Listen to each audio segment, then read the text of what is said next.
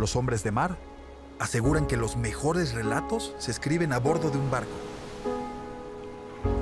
cuando tienen que luchar contra el agua, contra el viento, cuando deben dominar estos poderosos elementos para llegar a su objetivo final. Así ha sido durante miles de años en lugares lejanos. Pero este es un relato reciente y muy cerca de aquí.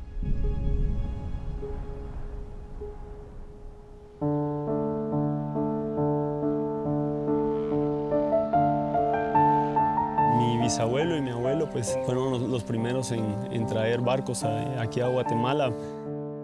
Mi padre fue el primero en, en empezarlo a practicar como, como un deporte, ir a competir afuera. eh, incluso fue a, a tres Juegos Olímpicos. De cuatro años empiezo a navegar con mi hijo Juan Ignacio. De 12 años ya me ganó una vez, yo le gané varias veces más después, pero después ya obviamente él se volvió mucho, mucho mejor. A sus 30 años, Juan Ignacio ya es el velerista más destacado de su familia y el más dominante de la región. Tres oros centroamericanos, dos panamericanos y recientemente clasificado a sus cuartos Juegos Olímpicos. Hoy se encuentra en un lugar donde comenzaron a gestarse esos éxitos.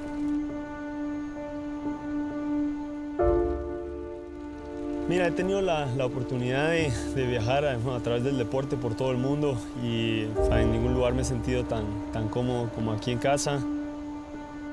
Pero más allá de su exitoso currículum deportivo, su verdadero impacto en el deporte guatemalteco es la continuación de un proyecto que inició su padre en 1996.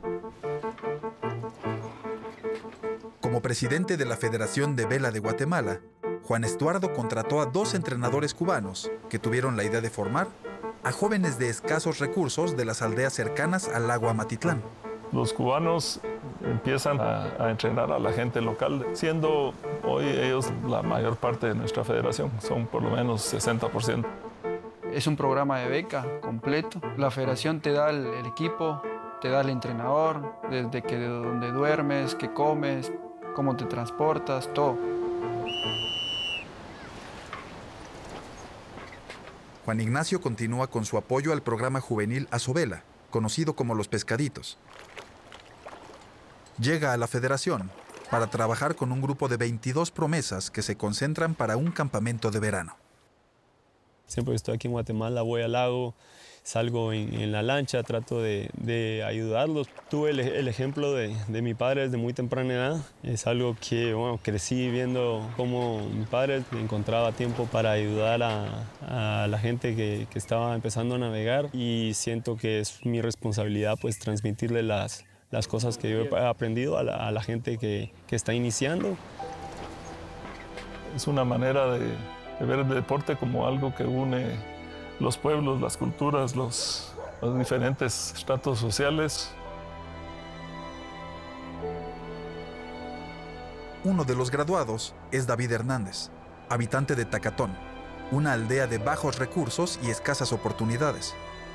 Cuando era niño jugaba fútbol, hasta que a los 10 años el viento cambió su destino. Fue invitado a un campamento de verano para aprender a velear. Mi familia no tenía tanta plata, nunca me imaginé poder, o nos imaginamos con los demás chicos, poder competir en, en los barcos de vela. Nosotros queríamos, pero al mismo tiempo nos queríamos negar, porque era, era algo que, que no se había dado nunca. Y al principio esta parte era muy dura, ¿no? Habían días que nos tocaba que caminar por falta de dinero, a veces había que llevar que comer, ¿no? Y no teníamos mucho. Yo navegué bastante con David, pero no se alimentaba bien, entonces no, no le duraba la pila. Además de mejorar su estado físico, David debía superar las barreras mentales que enfrenta un joven navegante. Una de las barreras que tenía que superar era que se ponía muy nervioso. Cuando había mucho viento, creo que era la parte que todos temíamos, no ir al agua porque la botavara se cambiaba muy deprisa. Entonces los golpes en la cabeza. Sin duda, desde el principio se, se notaba que era un, un, talento. Se empezó a competir, tuvo muy buenos resultados, tal vez a, a nivel latinoamericano y, y, panamericano, en donde sin duda ha encontrado su, su mejor desempeño. En los Centroamericanos de Barranquilla 2018 se empiezan a unir los sueños en vela. Juan Ignacio gana su tercer título consecutivo en categoría láser y David se cuelga el oro en la categoría Sunfish. Subir y, y recibir la medalla y después ver a la gente que te aplaude, escuchar las notas del himno es creo que una de las experiencias más bonitas que, que he vivido en la vela. Estaba trabajando cuando mi hija me mandó un mensaje. Me dice, me mandó la foto de él. Mira, me dice, David ganó oro. No pude contenerme. Yo empecé a gritar.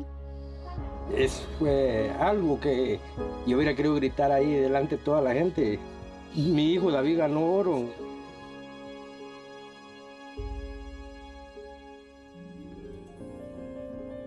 Como sucede con los navegantes, David recorre el mismo camino al lugar en el que todo comenzó, pero esta vez con más comodidades. Este es el carro que gracias a Dios pude comprar con el premio que me dieron de la medalla. No, sin duda, el- la vida le, le ha cambiado, pero no, no es que se lo han regalado ni nada así. O sea, la, la vida le ha cambiado por el esfuerzo que él, que él ha hecho. Dice Hemingway que las únicas armas de los navegantes son el ímpetu, el esfuerzo y la valentía. Juan Ignacio y David deberán valerse nuevamente de ellas para salir victoriosos en los Panamericanos de Lima, donde el agua unirá dos caras de Guatemala.